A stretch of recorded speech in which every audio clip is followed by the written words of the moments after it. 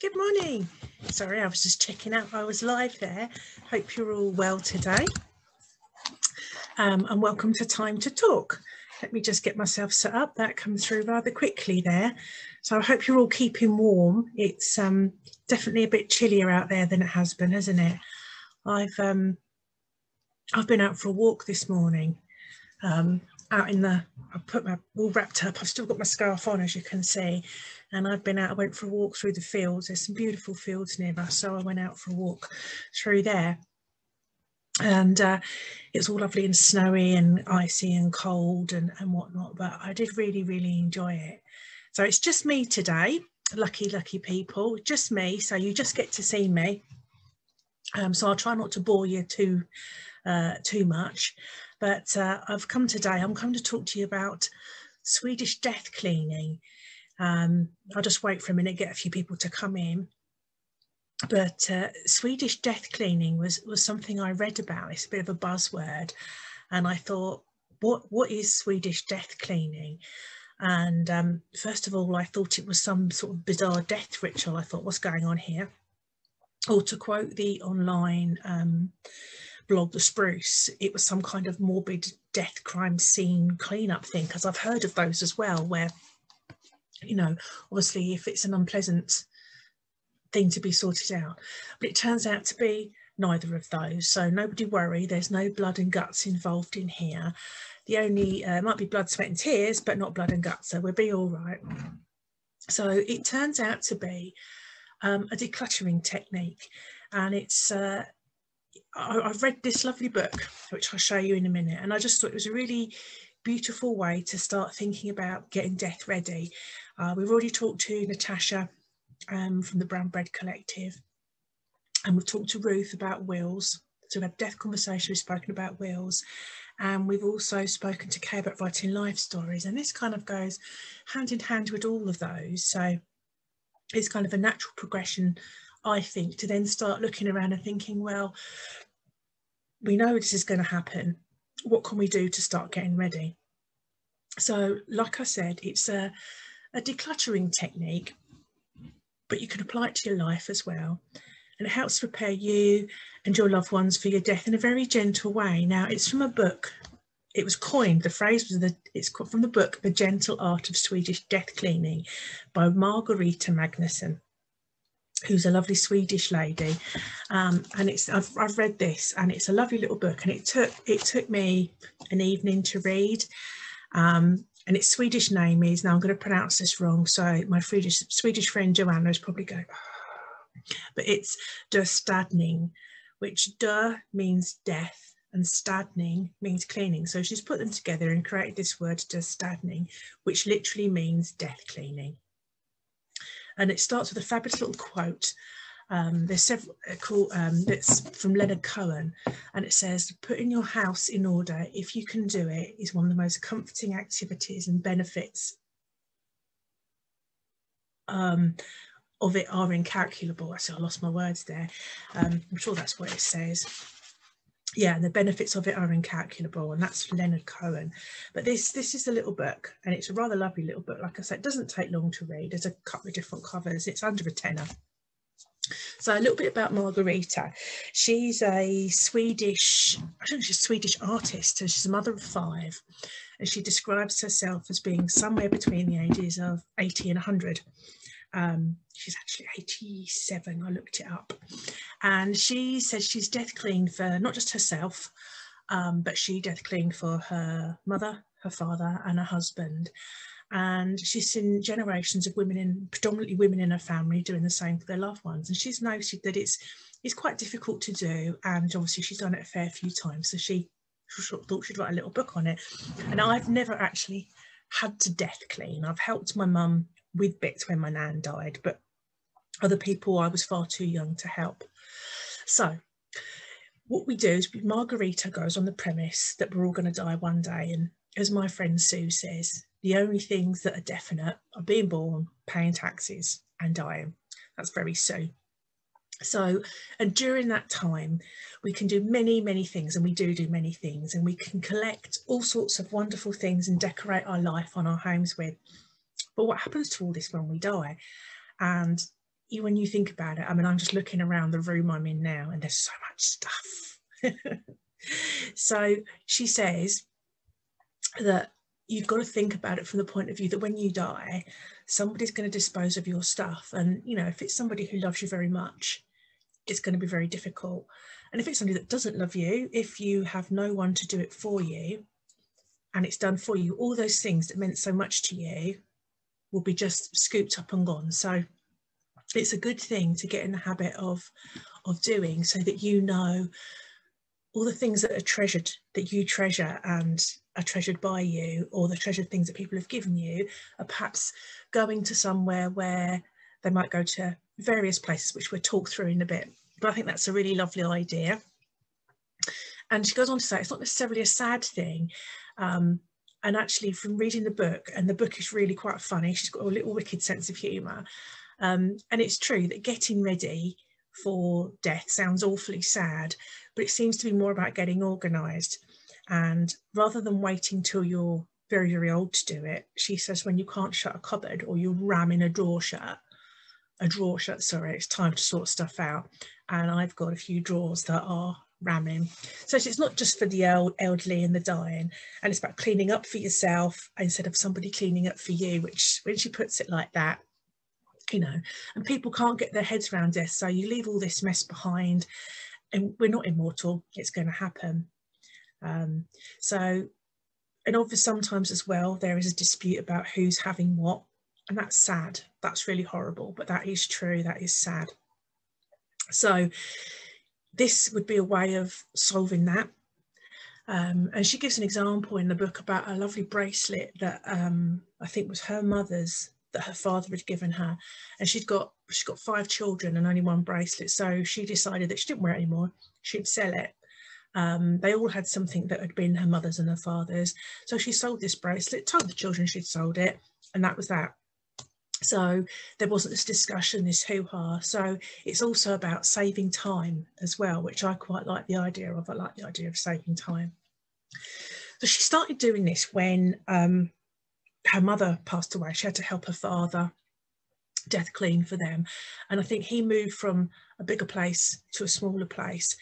So she she found that her mother had started doing this herself. She'd started putting things away, labeling boxes, and she found a uniform. I think I don't know what sort of uniform it was, but a uniform with take to the a little label on it says take to the museum because it was not probably an old soldier's uniform, army uniform and she'd got suggestions, things were boxed up and ready to go. So obviously her mother had been thinking about it and she said how useful she found this. And so after downsizing her father to a smaller house and finishing off the cleaning, she moved him into the new, new smaller place. Um, and you know, she points out at the time as well, she'd got five small children. So time was of an essence. It was really helpful for her to have these things done that she didn't have to spend all her time and energy running around tidying things up looking things through sorting things out when she wanted to grieve support her dad to grieve and support her children through it. And that makes sense to me because we all know the grieving process is is exhausting. So she's got a lovely little quote um, and it's let me find this lovely little quote. Here we go. Uh, here we go. You have collected so much wonderful stuff in your life stuff that your family and friends can't evaluate or take care of. Let me help you to make your loved one's memory of you affectionate rather than upsetting. And that's her words, and that, that is so true. So she goes on to say, this isn't something that you can do overnight. Um, but as you get older, she but this is a really good point that I hadn't actually thought of. Sorry, it's cold in here. I have to put the heat on in a minute a really good point that as you get older, you think the time goes so quickly, but it's actually that you slow down and take things take longer to do. So that's why time doesn't go, go goes faster than you thought. And I sat there reading that going, that's so true because time does go quicker as I've got older, but it, I have noticed that I do, it takes me longer to do things. So yeah, that's a scary thought. Uh, but the essence of this is it's uh, you move a bit closer every day to doing a little bit every day rather than making it a huge project um, that you complete over a week. I think if you if you had to that would be a nightmare. And psychologically, it's a good way to approach it, especially if you're not well or if you've got, you know, you perhaps you know your illness is terminal or, you know, you're just, it's just a huge task anyway. So obviously she starts suggesting that you go through the basement, the shed, um, the attic, the outside cupboards because they are things that are probably, only probably, not so precious. They're more likely to be open to the elements. Um, you're not going to have your jewellery stored there. You're not going to have your photographs stored there because they'll get ruined. So you've also probably forgotten what is there. And that's true because I don't actually know what is in my cupboard and in my shed. So it can't actually be that that important, can it? You know, and how much am I going to miss them? How easy would it be to clear them? And I'm not a hoarder, but I definitely think that might be handy.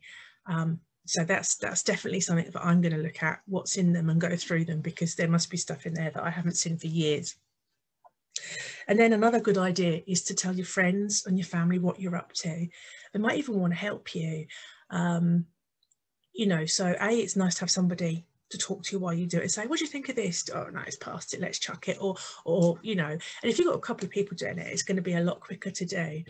And also that could be a beautiful time to discuss the stories around it. I know with mum's been pulling things out and looking at them, I've been saying, oh, that's nice. What's that? Where did that come from? And she's been able to tell me what it is. And if she wants to keep it, she wants to keep it. Or if she doesn't, you know. Um, and there might be something that she's treasured and wants to get rid of that I think, oh, that's beautiful. I'd really like that. I've got various things of my grandparents. I, you know, can't keep all of it. Um, we'll come on to the kitchen later on. But, you know, I have got um, a beautiful glass um, cake stand, crystal glass cake stand from one nan, one that's the tiered one that you hold up and carry like that with the little cakes on it, another one that's got an actual stand and a flat base that you, you put your cake on. And that's, that's something I've got from both of them. I could have taken lots more, but there's not room for it. um, and of course, there's stories attached to them. So she says to start with the less personal things first which makes sense. Main reason is not simply to avoid being sad, but if you're going to start with photographs and letters, you are going to go right down memory lane and you're going to be looking in that box of photographs for the next three weeks and get absolutely nothing done. And I think also that will help build up your resilience over time so that you can make those more difficult decisions. You know, you can look at things and by the time you get to your letters, you you're getting to the point where you think I'm going to keep a couple, I can't keep them all, and you know work on it on that premise. And I think that's you're kind of putting yourself in a training mode. But it's not about getting rid of everything. You you can keep what you want to keep. This isn't a Marie Kondo style minimal. Everything is, you know, get rid of everything. Um, you know, and I see what she's saying here because you know, if I look around the house, there's things I don't want some things I do, and you know, it's only times when you, you get them out that you think, oh, I wouldn't mind, I would, I'd keep that. I mean, I've got bits that are old, and I've got bits that are completely, they're not valuable at all, but they are to me. So the first thing to do is write a list of categories in your home that you need to sort out. So we've all got clothes, furniture, probably an attic, not everybody, kitchen, shed, china, for example. We've also got all the things in your particular home. So you might have fishing stuff, craft stuff. I'm just looking around my room going, if anybody had to clean this, they'd be going, why has she got this? What's that? Other people have got books, me, CDs. Um, so that's, you know, when you've got this list, you can start looking at the things you've got to do. And I think it's about bringing it down bit by bit. So you look at it and then going through it, going through what it is you want to keep. And the idea of having a place for everything now, my my my husband despairs of me doing this because I'm like, put it where it should be. If you know where it is, it's, it's, it's easier to find. And it's also that'll help you to not lose things. Everything does have a place, Mark, if you're watching, if you put it on the table, it's going to get knocked off. The cats are going to knock it off. I am going to move it. That happens. And an organised house is going to be more, it's going to be easier to clean out when you're not here anymore. So another suggestion is to give things away that you know people cherish that you no longer need. For example, the with um, the cake stands that my mum didn't need them anymore and she knew I liked them so she gave them to me. And that gives you an opportunity to talk to the people that you love, the people around you about their stories and you know otherwise they'd just be two cake stands that I didn't know about, but I know one's one Nan's and one's the other. And, you know, that gives them a bit of an idea of the of the heritage of them and, and what's there. So that's another another lovely thing. Um, and it's not again, it's not about rushing to get this done.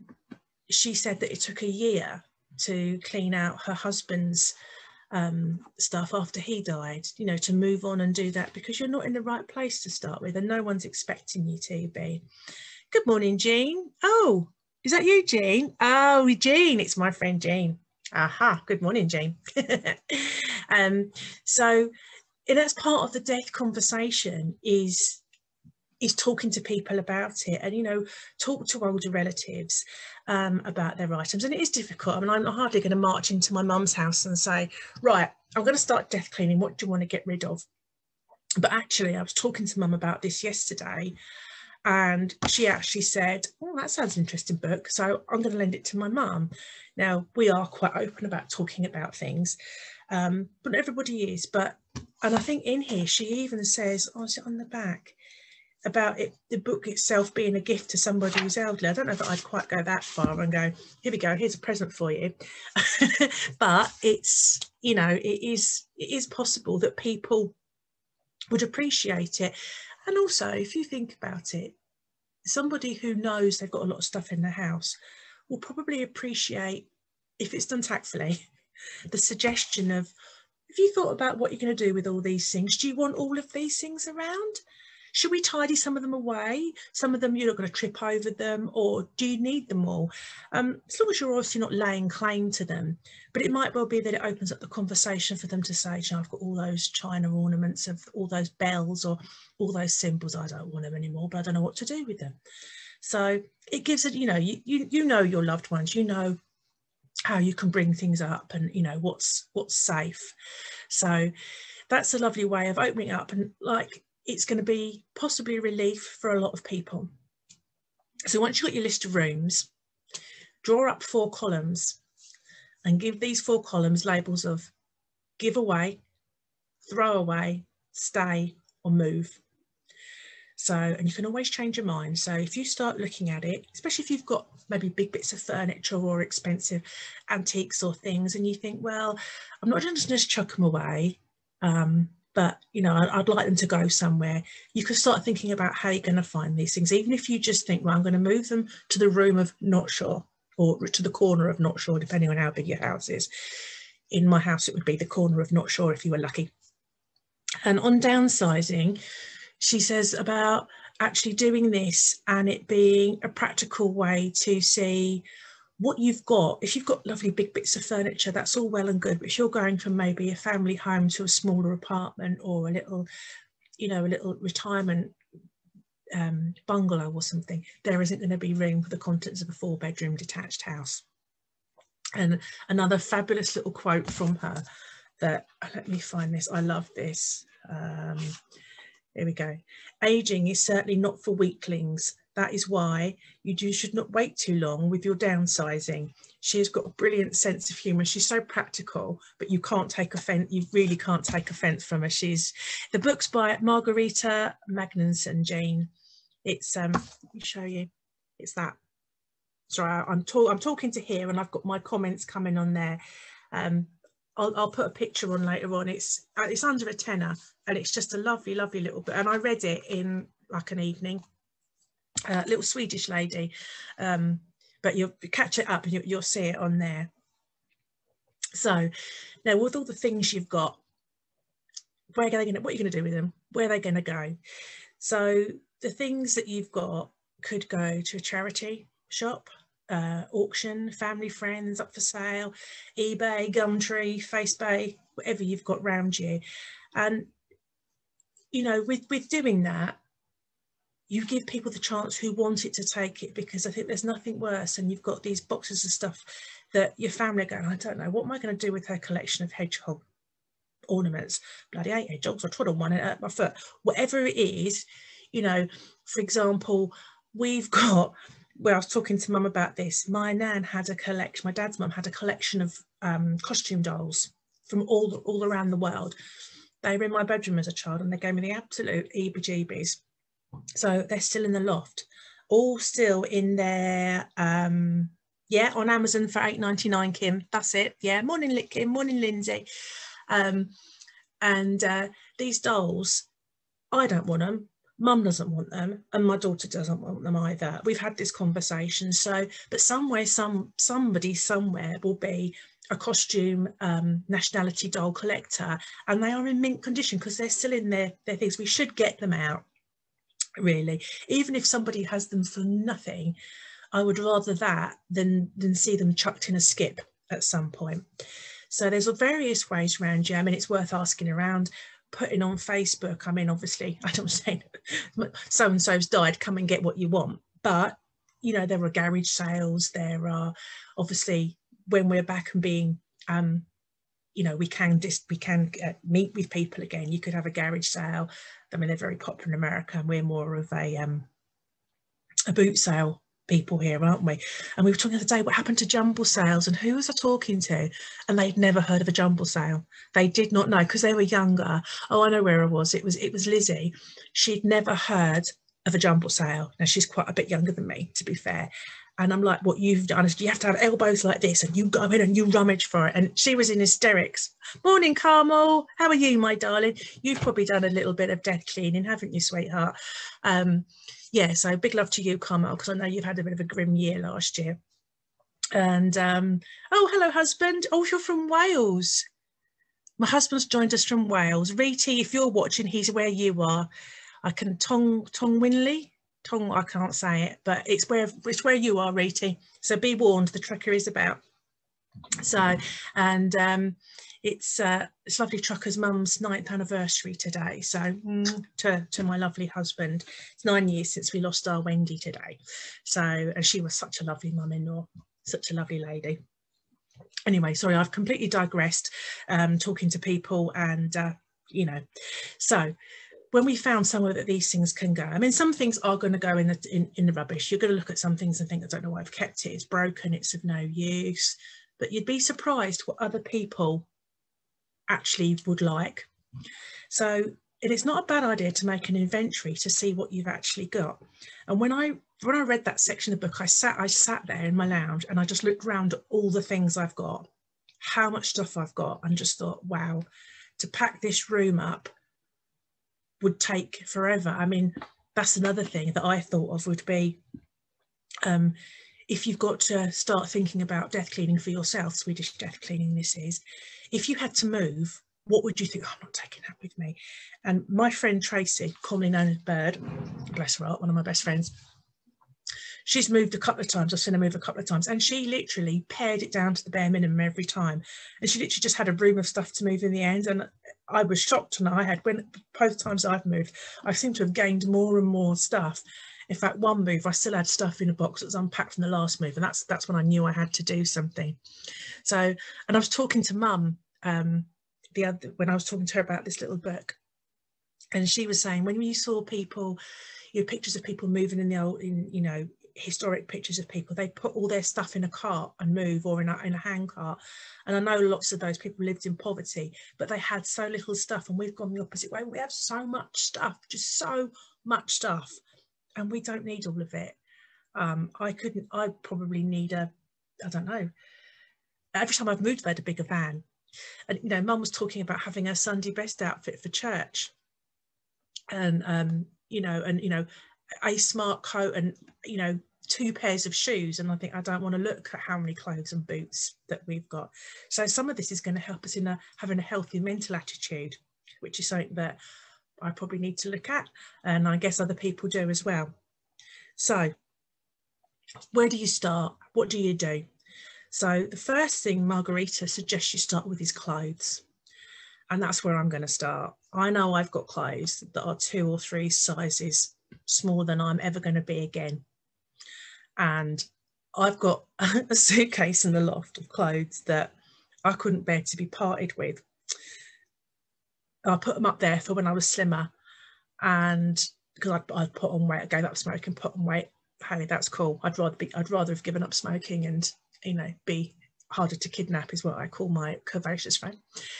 Um, but they was them were the things. It wasn't because the clothes were that wonderful it was because I couldn't let go of the size I had been, I guess. Um, and there is a very beautiful purple skirt up there that's it's got tears and it's got little coins on it. So i might salvage that and make something from that. Not that it'll fit me but maybe make a, a cushion or a, a something. Um, so you, again you could use these things for recycling. Um, it never did fit. It was always a bit tight. And now it's in a suitcase in the loft just in case and has been since we moved here 11 years ago so i'm not a hoarder much so Carmel, yeah, still sorting stuff and waiting for more hassle. Oh, yeah, it's really difficult, Carmel, isn't it?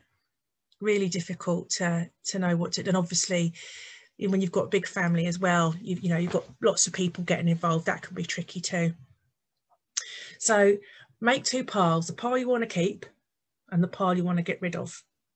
And then you put your first pile back in the wardrobe, making sure that that's everything you want. And the second lot, if if you what is it, if you haven't worn it for a year, you're not going to. I mean, there's obviously exceptions if you've got like I don't know um, beach stuff. If you didn't go last, year, I mean, this is this this year is going to be different. So if you haven't worn it for two years, because nobody wore anything other than sweatpants and joggers last year because there was nowhere to go all this year too. Um, and the other stuff, pack up when you can and go to charity and even or to charity or to refugees there's all sorts of places that need it and even if you can't take it there now if it's in bags, it's ready to go. And also, if something happens to you and it's got a label on it that says to a charity shop and it closed for charity, you know, if that happened to me, my daughter, because my it would be my daughter, would go, right, that's mum's clothes, she doesn't want, take them to charity. And we've all got those things we bought in a sale that we thought were fabulous and got home and thought, what was I thinking? You know the ones I mean, the ones with the sales tag still on them. Got a couple and children's clothes that were cute in 1998. When we moved to here, I found a bag of clothes. so that's that was 11 years ago. And the children were 15 and, and nearly 13. Um, I found some bags of baby clothes that I'd brought with me to that house. Think they might come in handy. And I did take them to a charity shop, and you know because they can use them for ragging. If they're they're beyond all use um, and they were there's lots of knitted things that were lovely and just plain baby grows but some of the styles would probably have been a little bit groovy. Um, but there's also um, they can rag them. So then they get weight for the for the money for the weight of the fabric. And also there are always going to be charitable causes whether it's here or in um, impoverished countries abroad where a t-shirt is going to cover a little bare back and they're not going to care if it's got care bears on it ben 10 showing my age here, or whether it's got the latest dinosaur, whatever on it, they're not going to care. So they could still be used. So after clothes, we get into the more difficult stuff now of things. All the things, you must have things you no longer use. Think about all the things that are in your house. Deep breath. The kitchen. The kitchen. Oh my goodness. The kitchen gadgets. Crockery and cutlery everything you kept just in case. Jam jars, Tupperware without the lids. There's never the lids for Tupperware. Um, serving dishes, plastic tubs, saucepans, casserole dishes, glassware. There's so much, and I've got stuff that some of the stuff I've got is really lovely and will you know would be nice to pass on. But there's always charity shops, shelters, refuges, free cycle, especially at the moment. I know, I mean, I work with people, I work for the winter shelter. And, um, you know, there are people in temporary accommodation. And at the moment, people are, are housed, thank goodness, uh, but it's not for but they're going into literally a bare room with nothing. And, you know, we, we, my manager I know has given out a couple of saucepans, you know, unmatching cutlery and crockery. And if you've got nothing, that's handy. And obviously at the moment we've got a lot of people, a lot of families, a lot of people who've got less income. You know, that it's going, it's going to be what with COVID, I think it's going to be quite, quite a difficult couple of years to say the least. So I think there's going to be a surge in these things. There's always refuges and there's always shelters of whatever nature that need these things. So it might, you haven't got to get rid of it now, but keep it to one side. And then when somebody puts out a plea or you see something, you can ask and check. and obviously your more fancy goods anything that's like you know antiques and valuables if you want to keep them keep them but when you've got four sets of things and you're not going to use them um, you know think about auctions ebay selling sites and auctions they sound expensive but you don't have any layout for that so supposing you make 150 quid i don't know what the auction um, commission is but obviously that comes off of that so you're still you're still winning you're still getting money so what's Carmel saying?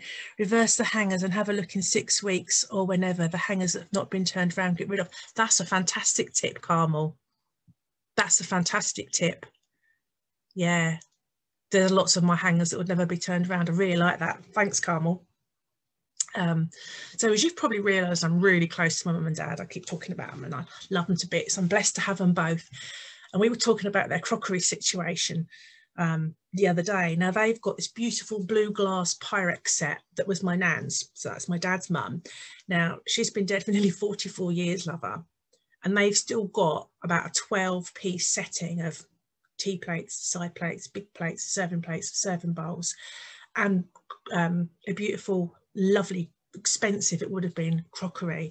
Um, so it's at least 12 place settings, and the days of them having 12 people are really gone. Mum she'd happily feed the whole family, but she was never one for organising parties. She didn't really enjoy it. So as soon as it kind of became my turn, I think she was more than happy to hand it over to me.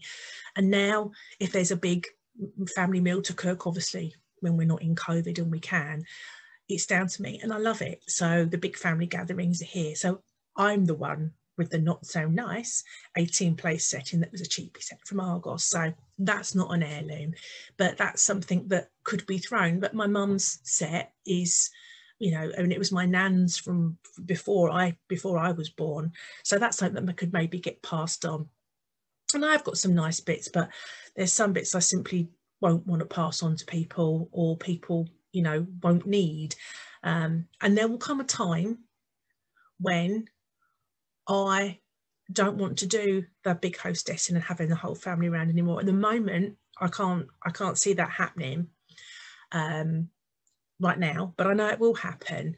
And there's another point. My oops, sorry, my table moved. I've got a slide out table. Um, my uh, in in this book, Margareta points out that if you've got to tidy a room for someone to come and stay, and it's an effort, you've got too much stuff and I thought sat down I thought what but I can see what she means if you if you're thinking oh so and so's coming I've got to sort that room out then you've got too much stuff and that was an interesting point and um, my cousins come and stay when we have this big family day thing and the number of times as much as I love them I think oh I've got to tidy up that back room for them to come I've got to tidy up the, the front room for those ones and I think I'm reading it and thinking it's not that I don't want them to come and stay but the fact I've got to tidy stuff away means I've got too much stuff. Um, okay, Jean, see you soon. And um, yeah, and I was thinking about uh, that, and there'll there'll come a time when it I'll be like, oh, Sophie, it's your turn. So, and and while we're on that, I have the, the importance of doing it while you still can. Um, a lot of you probably know I used to work in care, and I used to go to this lovely, lovely couple who were in their 80s, absolutely lovely people. Um, and they had this beautiful house over many stories. It's like a big townhouse. And um, they, I mean, they had so many rooms they didn't, they didn't live in. They, you know, um, they literally lived in one room at the back and their bedroom and the bathroom. And they'd got this fantastic basement kitchen that I was like um, in heaven. Um, she's got this massive kitchen and, and diner just for them. She's got a proper dining room upstairs and uh, you're getting your back door fixed, it's a bit stiff. Okay, okay, love. Something wrong with the trucker's truck. There you go. I hope that's what it is anyway. Um, anyway, this kitchen, and she had a room in downstairs, this sort of storage room. That the husband had got this storage room at the front, which was like an indoor shed, which was just a man cave.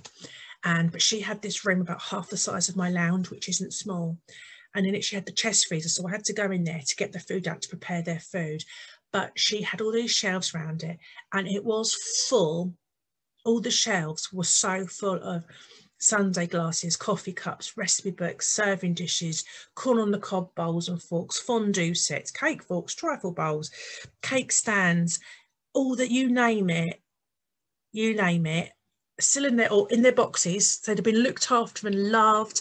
She'd obviously been an Uber hostess in the time, so I spoke to her about it.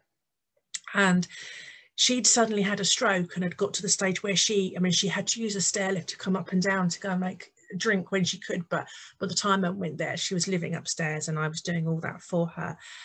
And with hindsight, she'd probably have loved to have given that away for peace of mind to know it wasn't wasting. Obviously, it wouldn't have been ethical for me to suggest that in that situation um, as a carer. But you know, that's I've seen it happen where there's so much stuff, just so much stuff.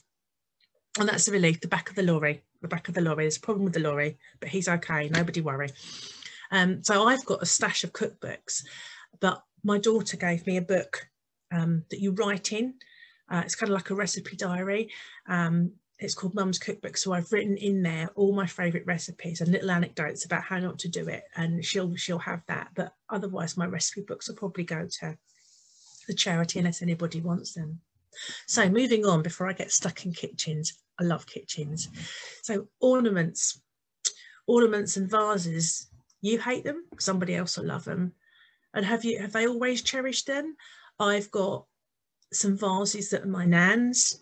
Um, they're not the greatest, but I love them and it's the memory attached to them. Give things away to people who want them and remember that if they say no, that's okay, that's fine. You've probably been given things over the years, presents that you, you've thought, mm, lovely. I know, I'm not going to say what it is, but I was given something and I thought, yuck, uh, never going to use it. And it's been put away and I will find a place for it when the time comes. Um, yeah, we've all got these things. So give them away. as long as you don't give them back to the person that gave it to you, that would be bad. Unless they want it back. Maybe they really liked it. There's a thought. Um, old duvet sets. How many old duvet sets does one person need? My airing cupboard is full. In fact, you can't get any. And old towels. And the old towels I've kept just in case. Uh, it's a bit of a fight to get things in the airing cupboard. That's another place I really need to look at. Tablecloths, tea towels and napkins showing the absolute age here. What about antimacassars and doilies? Who's got those? Who remembers what an antimacassar is? I only know because my nan had them on some of the chairs at her house. Yeah, they were, they're the things that go on the back of the chairs. Um, good morning, Shell. We're just talking about antimacassars. If you know what an antimacassar is, they were like sort of doilies that were on the back of the chairs. So when the guys had oil slick through their hair to hold it back, it didn't stain the fabric, apparently. Don't know if we still do that. So again, they could go to charities, shelters, refuges, animal homes, duvets, towels, animal homes and vets, um, especially this year where there's lots of, um, you know, people are struggling to get to make ends meet. Charities will probably really, animal charities, I mean, probably really benefit from, from duvets and blankets and things. So everything you keep just in case keep a few and recycle. And it was interesting that Margareta raised a, fascinating point in the book. And she's got this theory that um, the Vikings knew about death cleaning because obviously they buried their people, they buried their loved ones with all their prized goods. So that it was so they'd got everything from Valhalla or Asgard. Um, could you imagine if you were buried with all your prized goods today, with all your your Gucci handbags and your um, you know, uh, Louis Vuitton shoes and yeah, or your Reeboks, and we need a considerably bigger grave. I mean, all right, we haven't got longboats to bury, but that would be massive, wouldn't it? Um, and it might also have been not to have those reminders of them. And I know, I mean, what is it? Aboriginal cultures, I think. Yes, it's Aboriginal cultures. When somebody dies, the older tradition was not to mention their name again, which um, I think it was, let me get this right. I think it was so that it didn't rouse or trouble the spirit. And they used to refer to it as, they wouldn't they never say death, they used to refer to it as a sorry business. And that's a rather beautiful way, but that's their belief. It might sound strange to the rest of us. Yeah, it was that they didn't disturb the resting spirit, I'm sure of it. Anyway, that's by the by. Okay, so we've, we're going all around the houses where we're going all around the world. That's lovely. Sweden to Australia. Um, where next? Books. Bought but never read. Who's guilty? And I know my friend Shirley, who's just joined, we were talking about hoarding the other day. How many books, Shirley? Was it 500? There's so many books, so little time. So I've got books that I've bought, started. Very rarely do I get a book I think, oh, I really can't, I can't do this. Uh, it's not for me. But if you don't want them or you've done with them, some people can read them again and again. You've all got your, your loved ones, your classic ones that you can do that with. If not, give them to charity or have a, when we can, have, have you know, family and friends over say, I'm getting rid of all of these. If you want any of them, take them that might be an easier way of getting rid of things because people will think, oh, well, I'm doing her a favour rather than feel that they're taking stuff from you. Um, and if you've borrowed them, return them, whether that's libraries, um, because you can just shove them through the doors. you can get away with not paying the fine. And um, in the book, Margareta talks about a um, in Stockholm, there's a, a book festival, a reading festival, a book day or something, where there's swapping and people lay out books, um, tables of books and that. And, you know, that's amazing. I, would I'd love that. We could start one here. But I guess another way of downsizing that is I don't know how people feel about um, Kindles and things. I don't have a Kindle. I don't have a Kindle at all. I prefer books. But that's one less way. And digital digitalizing things, which I'll, I'll come to in a bit in a minute.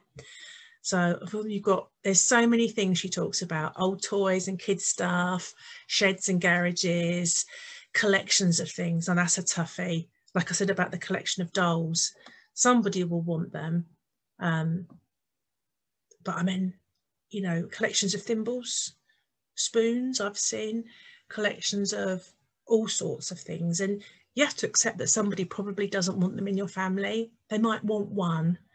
My aunt had a collection of little brass ornaments and fridge magnets. And what we did is we all, after she died, we all took one. So I've got a little brass bell and a little cat fridge magnet, and the rest got boxed up and sent to charity. So, you know, so if you've got a collection of things, be prepared to sell it or know that it will be sold if nobody else wants it. Um, secret stuff. This was my favourite section. So sort through um, the things you don't want to hurt or embarrass your loved ones. Maybe burn them. And if you can't face doing that, which obviously you haven't got to burn everything, put it in a box and on it put private, burn when I've gone. I mean, whether people peek in it or not, but at least they know that that's stuff that you don't want everybody to, to be rummaging through maybe old diaries, gossip, something to do with debt, all the things that's not going to enrich anybody's life, those sort of things. And she also rather, she's cheeky little what's name. She also mentioned sex toys in there about getting rid of them before somebody has to find them as well, which made me laugh. Photographs, leave these ones till last. You will disappear down memory lane, there's no doubt about it. But you have to throw them if you're the last member or the oldest member of your family, write on the back who you are, who they are, scan them into a computer. Um, I mean, it's lovely to have old photos. You could scan them into a computer and put them into a book or put them on memory sticks and send them to family and friends as a present. Um, some will be of nothing much, just scenery that don't mean anything to you. Burn them if you don't want them. All those that you want can go in your private box. Um, have a treasure box and keep them in there and you can go through things um, and look at them. And again Margareta points out that if you're looking at something and you don't know what it is or you have no idea what the memory is it's no longer important to you. You can either use it if you can remember to think about the good times or you realize that it's not important to you and bin it which i thought was a rather good rather good thing. So the top tips seem to be make it a way of life which makes sense because if you do it regularly, it'll stop it building up. Start before you think you need to. I think I need to start. Less mess, less stress, which is true. You won't lose things so easily then. Keep the things you love and not the things you don't. Be organised, a place for everything. Mark, are you watching? You need to keep a place for everything and get rid of the less personal first and then create a digital memory So that's all of her advice. Um, and I think that that's that really that really resonates with me and there's lots I can take forward there and even just talking about it even if it's all common sense when you look at it like that you've got a bit of a plan I mean again I was talking to mum and dad found a box of photos in the bottom of his wardrobe and said oh, this is a picture of a wedding here I don't know if it was and it was a wedding that my uncle was best man at over 50 years ago and mum obviously told Uncle John he said God I haven't thought about so and so for years so she's going to send in the photos, but he hasn't thought about this person or, you know, uh, obviously we've got the turtles, the wonderful turtles that I talked about before, the taxidermy turtles.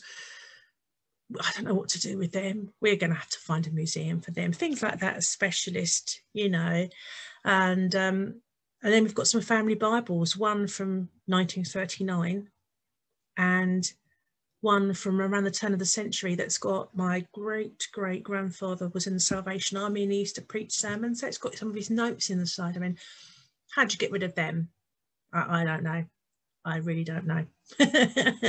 but what I love about Swedish death clean is you can have a box of things that are important and keep them. And it may be that we take photos of these things and give them give them on to people. Um, and I've got stuff the kids gave me I've got tickets and a program from a George Michael concert when I was 17. It's over 30 years ago. Two pieces of paper, two a ticket, a ticket, the letter that goes with it, because I went with um, KM, Kent Messenger Online then, cards. So that's all the things to, to be thinking about.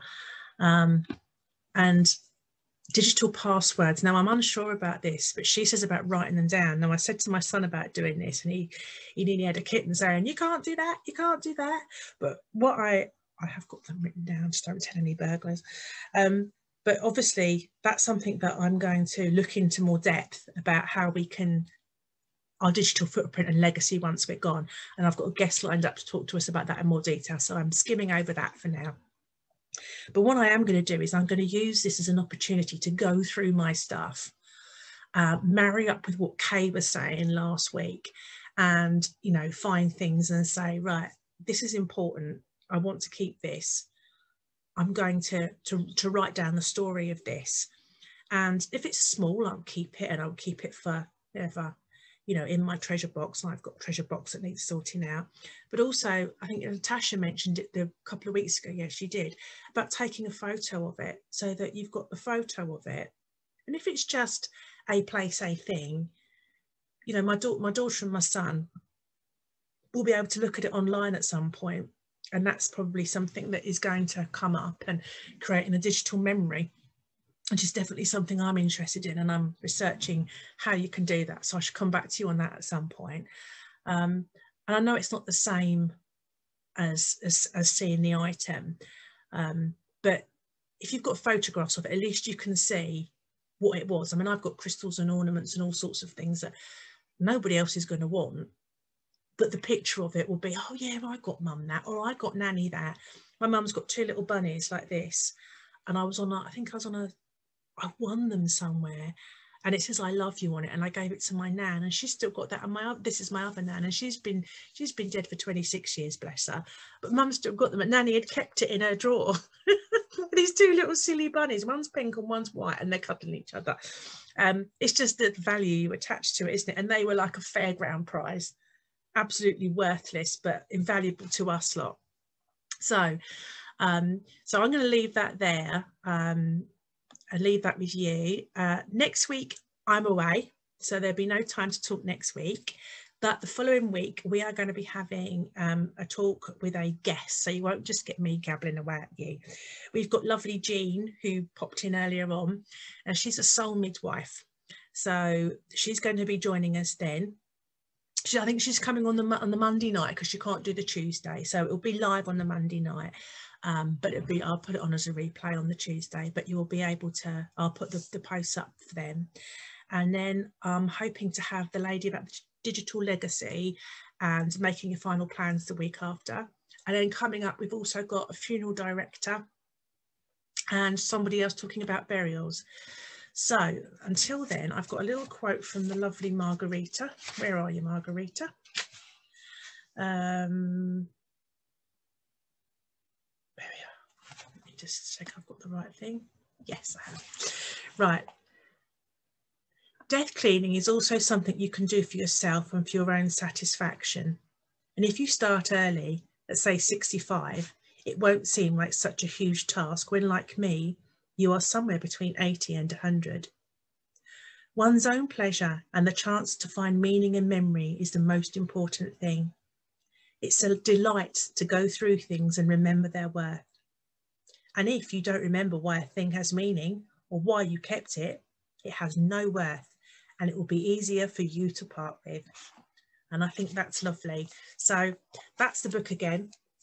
Uh, I'm not on commission for selling the book at all. I just think it's a wonderful little book and it really doesn't take too long to read. It's either down as Döstädning or it's the gentle art of Swedish death cleaning. So I shall leave you with that. Thank you for joining me and for your comments. And I will see you in a couple of weeks. Bye.